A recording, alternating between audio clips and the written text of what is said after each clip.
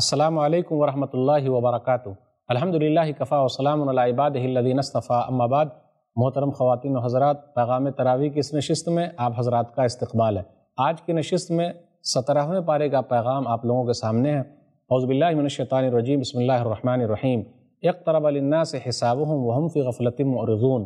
ناظرین کرام، سترہویں پارے میں دو صورتیں سورہ انبیاء سورہ نمبر اکیس مکمل ہے، اس کے بعد سورہ حج سورہ نمبر بائیس مکمل ہے۔ سورہ انبیاء، سورہ نمبر اکیس، مکی سورہ ہے۔ انبیاء نبیون کی جمع ہے یعنی نبیوں کے واقعات اس کے اندر بیان کیے گئے ہیں۔ اس لیے اس سورہ کا نام سورہ انبیاء ہے۔ یہ سورہ اس طریقے سے شروع ہوتی ہے کہ حساب و کتاب کا وقت قریب آ گیا، لوگ غفلت میں پڑے ہوئے ہیں۔ کہاں ہیں لوگ؟ اس کے بعد کفار مکہ کے بارے میں یہ آیا کہ یہ لوگ قرآن کریم کو کہتے ہیں، یہ شاعر کا کلام ہے۔ قرآن کریم کو کہتے ہیں، باقی باقی باتیں ہیں۔ اللہ نے کہا فصل و اہل ذکر انکن تم لا تعلمون۔ تم علم والوں سے پوچھ لو جو تم نہیں جانتے۔ اس کے بعد آیت نمبر دس پہ غور کیجیے۔ لقد انزلنا الیکم کتابا فیہ ذکرکم افلا تعقلون۔ ہم نے تمہاری طرف کتاب اتاری ہے، اس کے اندر تمہارا ذکر ہے۔ کیا تم سمجھتے نہیں ہو؟ سلف صالحین اس آیت پر آ کر غور کرتے تھے کہ تمہارا بھی ذکر قرآن میں موجود ہے۔ غور تو کرو۔ تم قرآن میں کس آیت میں اپنے آپ کو پاتے ہو؟ عمل کرتے ہو کہ نہیں؟ کون سی آیت تمہارے اوپر فٹ ہوتی ہے؟ صحیح ثابت ہو رہی ہے کہ نہیں ثابت ہو رہی ہے؟ تم اپنے آپ کو قرآن کے حساب سے، آیت کے حساب سے ڈھال پاتے ہو کہ نہیں ڈھال پاتے ہو؟ غور کرتے تھے۔ اس کے بعد کہا گیا، وما خلق السماء والارض وما بینہما لاعبین کہ آسمان و زمین کو اللہ تعالیٰ نے اور ان دونوں کے درمیان کی چیزوں کو بیکار نہیں بنایا ہے، بلکہ مقصد کے تحت بنایا ہے۔ آیت نمبر بائیس پر غور کیجیے لوکان فیہما آلیہت الا اللہ لفسدتا فسبحان اللہ رب العرش اما یسفون لوکان فیہما آلیہ اور اگر بہت سارے معبود ہوتے، بہت سارے اللہ ہوتے لفسدتا، تو آسمان و زمین کا نظام بگڑ جاتا۔ اللہ کی ذات پاک ہے جو یہ لوگ شریک ٹھہراتے ہیں۔ کفار مکہ کہا کرتے تھے کہ فرشتے اللہ تعالیٰ کی بیٹیاں ہیں۔ اللہ نے کہا، بل عباد مکرمون، بلکہ وہ عزت دیے ہوئے بندے ہیں۔ اپنی طرف سے کچھ بھی نہیں کہتے۔ پھر فرشتوں کے بارے میں یہ آیا کہ وہ سفارش کریں گے لائش فعون اللہ لمن ارتضا وہم من خشیت مشفقون۔ کہ وہ لوگ سفارش کریں گے ان لوگوں کے لیے جس کے لیے اللہ راضی ہوگا اور وہ اپنے رب سے کانپ رہے ہیں۔ آگے آیت نمبر تیس پر غور کیجیے اولم یر الذین کفروا ان السماوات والارض کانتا رتقا ففتقناهما وجعلنا من الماء كل شيء حي، افلا يؤمنون کافروں نے دیکھا نہیں کہ آسمان و زمین دونوں ملے ہوئے تھے، پھر اللہ تعالیٰ نے الگ کر دیا۔ بگ بینگ تھیوری ہے۔ آسمان و زمین ملے ہوئے تھے، پھر دونوں الگ ہو گئے۔ پھر آگے کہا، ہر جاندار کو اللہ نے پانی سے پیدا کیا ہے۔ آیت نمبر چونتیس پر غور کیجیے وما جعلنا لبشر من قبل الخلد افئم مت فهم الخالدون۔ ہم نے آپ سے پہلے کسی بھی انسان کے لیے ہمیشگی نہیں رکھی ہے۔ تو کیا وہ لوگ ہمیشہ رہیں گے؟ آگے کا کل نفس ذائقۃ الموت۔ اور ہر نفس کو موت کا مزہ چکھنا ہے۔ دنیا سے چلے جانا ہے۔ موت سے کس کو رستگاری ہے؟ موت سے کس کو رستگاری ہے؟ آج وہ تو کل ہماری باری ہے۔ اب آگے تذکرہ ہو رہا ہے کہ رسولوں کا جن لوگوں نے بھی مذاق اڑایا، اللہ تعالیٰ نے اس کو پکڑ لیا۔ دنیا سے وہ لوگ نست و نابود ہو گئے۔ اب اس کے بعد یہ ذکر ہے ذرا قیامت کا، میزان کا، ترازو کا۔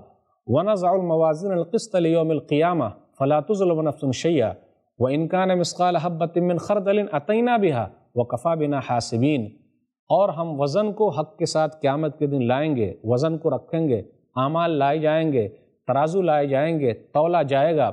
کسی پر ذرہ برابر ظلم نہیں ہوگا، رائی کے برابر جس نے جو نیکی کی ہوگی یا برائی کی ہوگی، سب کو لایا جائے گا۔ اور حساب کرنے کے اعتبار سے ہم کافی ہیں۔ اس لیے ترازو پر ایمان رکھنا، اللہ تعالیٰ کے فیصلے پر یقین رکھنا ضروری ہے۔ اور آخرت پر جس کا ایمان جتنا زیادہ مضبوط ہوگا سماج کے اندر اتنے اچھا وہ شانتی پیدا کرنے والا ہوگا، کیونکہ وہ ڈرے گا، کوئی دیکھے نہ دیکھے اوپر والا دیکھ رہا ہے۔ اب اس کے بعد نبیوں کے واقعات شروع ہو رہے ہیں۔ پہلے ابراہیم علیہ السلاۃ والسلام کا واقعہ، ان کی قوم کا تذکرہ ہو رہا ہے۔ اپنی قوم کو سمجھایا، اپنی قوم کو بتایا کہ ایک اللہ کی عبادت کرو۔ یہ کیا بتوں کی پوجا کے لیے تم بیٹھے ہوئے ہو؟ پھر اس کے بعد وہ لوگ بتوں کی پوجا کرتے تھے، تو ایک مرتبہ پوچھ لیا، کیوں ایسا کر رہے ہو؟ کیوں پوچھ رہے ہو؟ کیا یہ نفع نقصان کے مالک ہیں؟ قال فتعبدون من دون اللہ ما لا ينفعكم شيء ولا يضركم؟ اف لكم ولما تعبدون من دون اللہ افلا تعقلون? اللہ کے علاوہ تم جس کی پوجا کر رہے ہو وہ نہ نقصان پہنچا سکتے، نہ فائدہ پہنچا سکتے، افسوس ہے تمہارے لیے اور جس چیز کی تم پوجا کر رہے ہو، کیوں پوج رہے ہو؟ قوم نے کیا کیا؟ ان کو پکڑا اور آگ میں ڈال دیا۔ اللہ تعالیٰ نے آگ سے کیا کہا؟ قلنا یا نا رکونی بردم و سلام علی ابراہیم آیت نمبر سکسٹی نائن ہے، آج بھی ہو جو براہیم سا ایما پیدا، آج بھی ہو جو براہیم سا ایما پیدا، آگ کر سکتی ہے انداز گلستہ پیدا۔ لوگوں نے آگ میں ڈالا اور اللہ تعالیٰ نے آگ سے کہا، تو ٹھنڈی ہو جا اور سلامتی والی ہو جا۔ صرف ٹھنڈک کی وجہ سے بھی نقصان ہو سکتا تھا، اس لیے کہا، نقصان نہیں ہونا چاہیے، سلامتی والی ہو جا۔ اب اس کے بعد لوت علیہ السلاۃ والسلام کا تذکرہ ہے ان کی قوم کا۔ ان کے قوم کے بارے میں آیا کان تعمر الخبائف وہ غلط کام کرتے تھے یعنی مرد مرد سے خواہش پوری کرتے تھے۔ اب اس کے بعد نو علیہ السلاۃ والسلام کا واقعہ ہے۔ اس کے بعد داؤد علیہ السلاۃ والسلام اور سلیمان علیہ السلاۃ والسلام کا واقعہ ہے۔ داؤد علیہ السلاۃ والسلام اور سلیمان علیہ السلاۃ والسلام کے واقعے میں ایک واقعہ یہ ذکر کیا گیا۔ آیت نمبر اٹھتر اور اناسی میں وداود و سلیمان حکمان فی الحرس اذن فشت فی غنم القوم وکن حکم شاہدین ففا ہم سلیمان۔ داؤد علیہ السلاۃ والسلام اور سلیمان علیہ السلاۃ والسلام نے ایک بکری کے سلسلے میں فیصلہ دیا، جو کسی قوم کے کھیت کو چڑھ گئی تھی۔ آگے اللہ نے کہا، تو ہم نے سلیمان کو اس کا صحیح فیصلہ سمجھا دیا۔ داؤد علیہ السلاۃ والسلام ابا ہیں، سلیمان علیہ السلاۃ والسلام بیٹے ہیں۔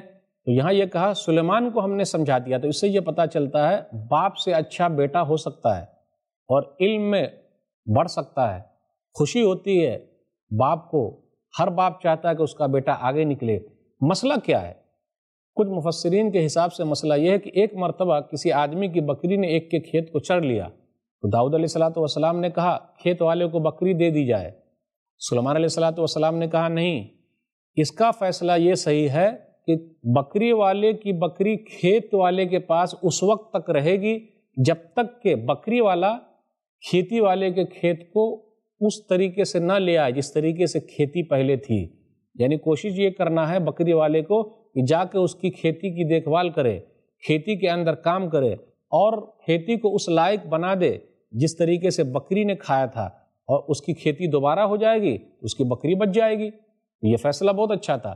کھیتی بھی ہو جاتی اور بکری بھی بچ جاتی۔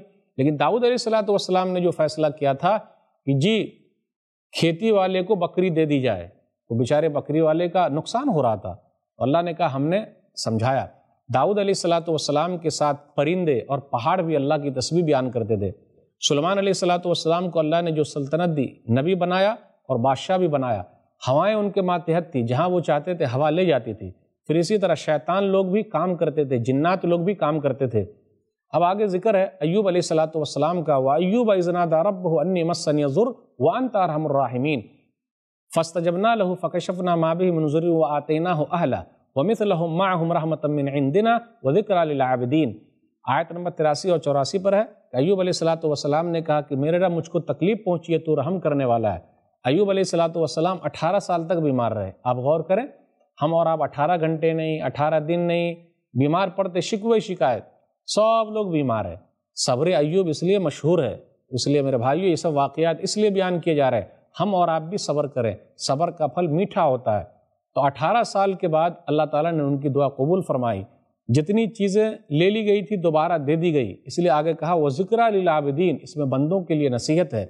اسی طرح اور بھی اسماعیل علیہ السلاۃ والسلام کا نام آیا ذلقفل کا بھی نام آیا۔ کلو من الصابرین یہ لوگ صبر کرنے والے تھے۔ تو اس سے یہ پتہ چلتا ہے ذلقفل بھی نبیوں میں سے ہے۔ تبھی تو اللہ تعالیٰ نے ان کا نام ذکر کیا ہے۔ کچھ لوگوں نے کہا، یہ نبیوں میں سے نہیں ہے۔ اب آگے یونس علیہ السلاۃ والسلام کا تذکرہ ہے۔ مچھلی والے، آیت نمبر ستاسی اور اٹھاسی بغور کیجیے۔ وزنون اظہب مغازبا فضن اللہ نقدر علیہ فنادا فی الظلمات۔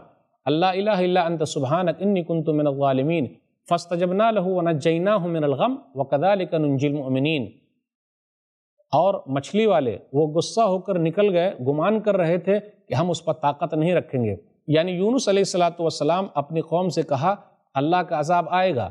تو عذاب آنے سے پہلے ہی نکل گئے۔ تو اللہ تعالیٰ نے پکڑ لیا، اندھیروں میں پکارا، رات کا اندھیرا، سمندر کا اندھیرا، مچھلی کے پیٹ کا اندھیرا، اندھیروں میں، پریشانیوں میں یاد کیا۔ کون سی دعا ہے؟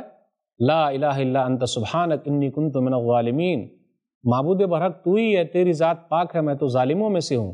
نبی صلی اللہ علیہ وسلم نے اس دعا کی فضیلت بیان کرتے ہوئے کہا سورن ترمزی کتاب الدعوات، کتاب نمبر پینتالیس، حدیث نمبر تین ہزار پانچ سو پانچ۔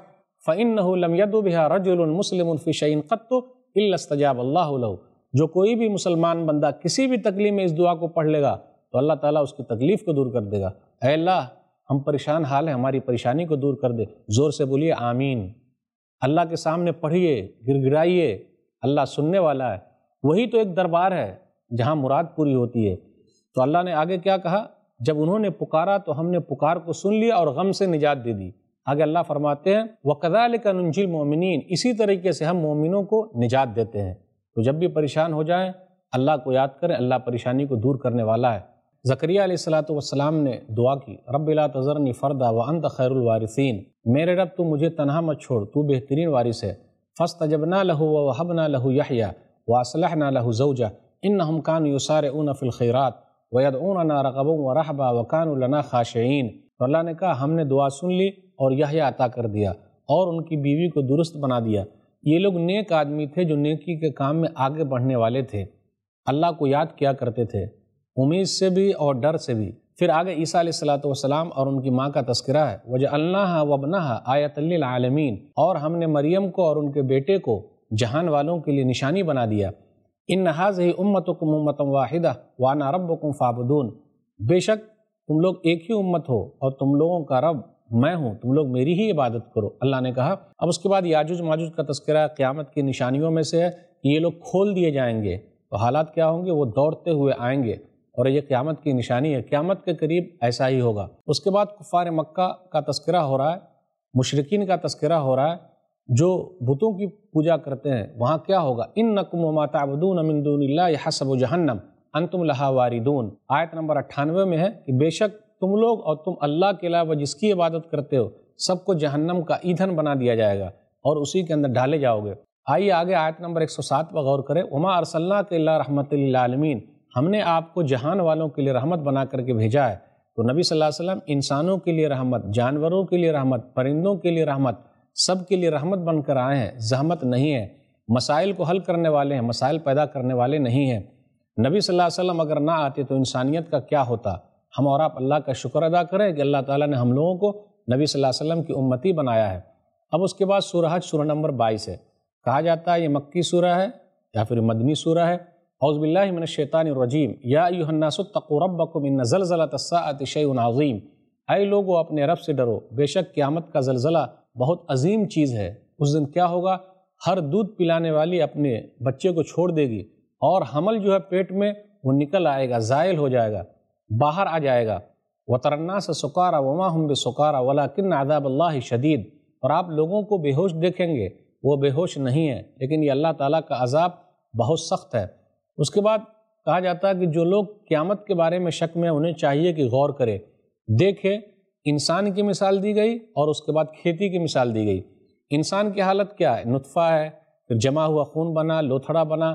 اللہ تعالیٰ نے ہڈی چڑھائی اور انسان بنا دیا۔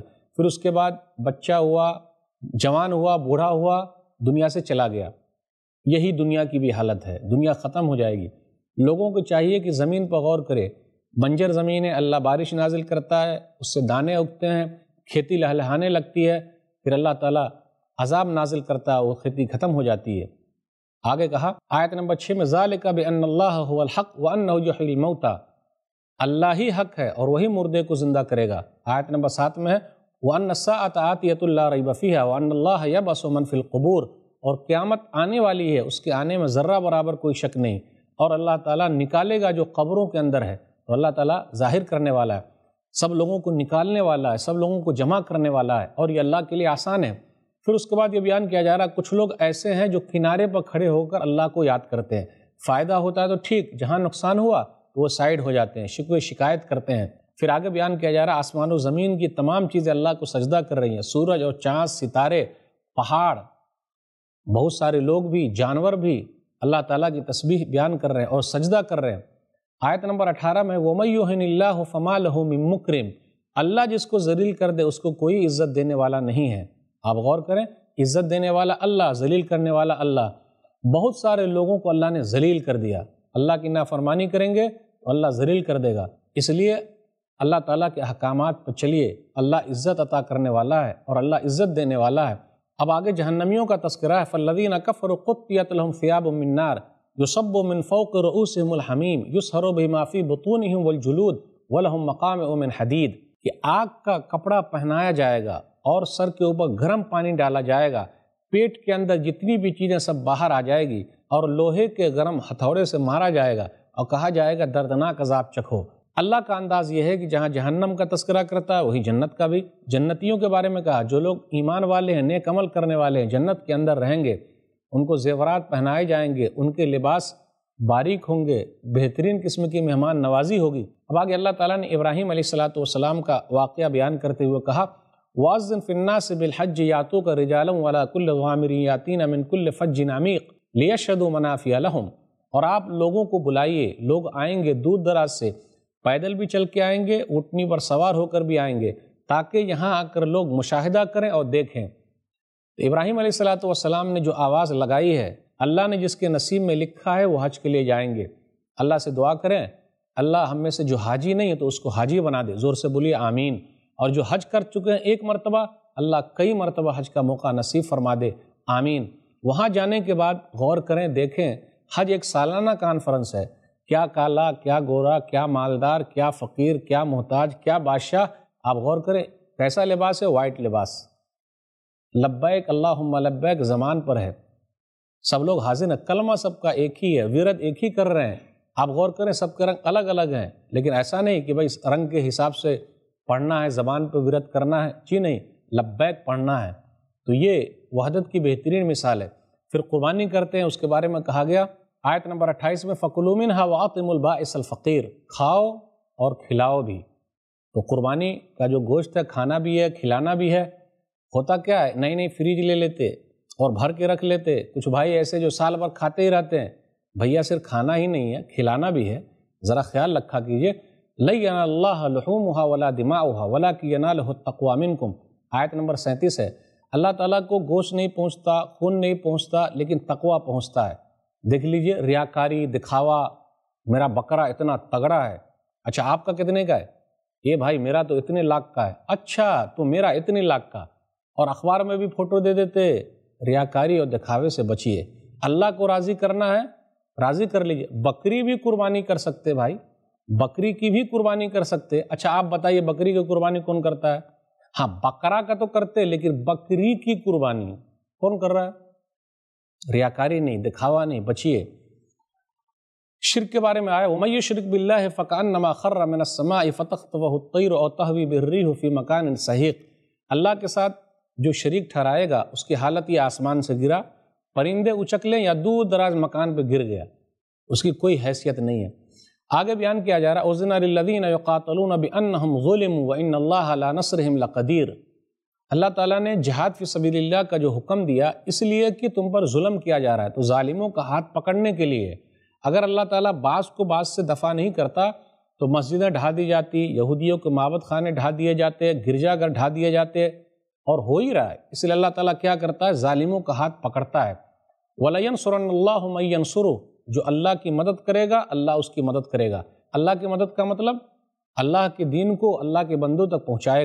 آگے کہا، ان اللہ لقوی عزیز. اور اللہ تعالیٰ غالب ہے، طاقتور ہے۔ آیت نمبر اکتالیس پر غور کیجیے اللہ امکنہ فلرز اقام الصلاح وات الزکا و امر و بالمعروف و نحو ان المنکر ولی اللہ عاقبۃ العمور اللہ زمین کس کو دے گا؟ خلافت کس کو عطا کرے گا؟ آج کل لوگ بات کرتے خلافت کی۔ پہلے اپنے اندر وہ خوبی تو پیدا کریں۔ صحابہ کرام کو اللہ تعالیٰ نے زمین دے دیا، نیک لوگوں کو دیا، اللہ دیتا ہے۔ اللہ کہتے ہیں، ہم زمین دیں گے کن کو؟ جو نماز پڑھنے والے ہیں، جو زکوٰۃ ادا کرنے والے ہیں، بھلائی کا حکم دینے والے ہیں، برائیوں سے روکنے والے ہیں، اس لیے سب سے پہلے اسلام کو اپنے اوپر لاگو کیجیے، اپنے گھر میں لاگو کیجیے، اس پر عمل کیجیے۔ اللہ جب چاہیں گے تو اللہ آسانی پیدا کر دیں گے۔ اور اس کے بعد اللہ تعالیٰ نے ذکر کیا، کس طریقے سے اللہ نے قوم عاد، قوم سمود، قوم لوت کو پکڑا؟ کہا، یہ لوگ کیسے تھے؟ زمین میں گھومو، دیکھو فعین نہ لاتام الابصار اولاکن تام القلوب الطیف الصدور سینے کے اندر جو دل ہے اصل وہ اندھا ہے۔ جو اندھے آنکھوں کے ہوتے وہ اصلی اندھے نہیں ہیں۔ اصلی اندھے وہ ہیں، دل کے اندھے ہیں۔ سب کو دیکھتے ہوئے بھی عمل نہیں کر رہے ہیں۔ آگے اللہ تعالیٰ نے اپنی نشانیوں کا تذکرہ کیا کہ زمین اللہ تعالیٰ کی نشانیوں میں سے اللہ تعالیٰ بارش نازل کرتا ہے۔ پھر اسی طریقے سے کشتیاں بھی اللہ تعالیٰ کی نشانیوں میں سے یہ نشانیاں بتلا کر توحید کی طرف لایا جا رہا ہے کہ تم لوگوں کے لیے انتظام کرنے والا کون ہے؟ اللہ۔ اللہ کے علاوہ کوئی ہے۔ اب آئیے آخری پیج میں ہم اور آپ دیکھیں، غور کریں، سترہویں پارے کہ اللہ نے کیا ذکر کیا؟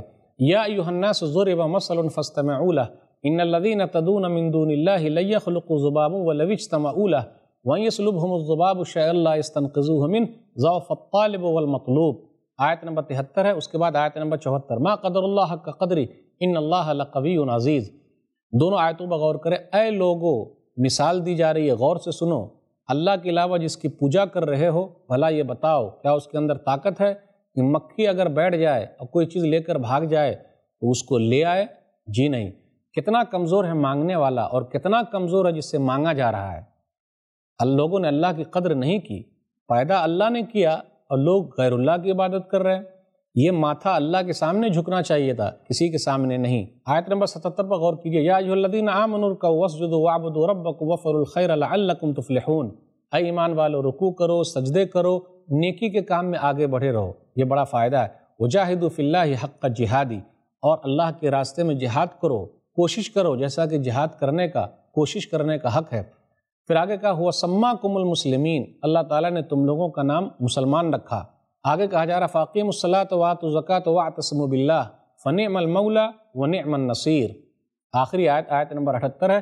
نیک لوگوں کی نشانی بیان کی کہ نماز قائم کرو، زکوٰۃ ادا کرو اور اللہ تعالیٰ کو مضبوطی سے تھام لو۔ وہی تمہارا ولی ہے، وہی تمہارا مالک ہے۔ بہترین مولا ہے، بہترین کارساز ہے، بہترین مدد کرنے والا ہے۔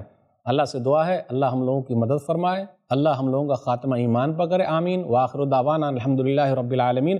وصلی اللہ علیہ نبینا محمد و علیہ وصحب اجمعین والسلام علیکم ورحمۃ اللہ وبرکاتہ۔